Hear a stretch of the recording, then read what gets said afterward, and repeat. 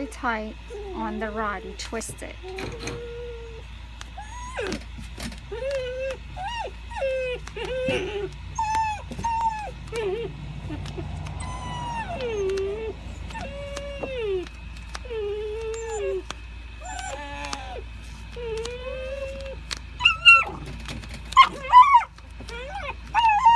And then whenever it's extra,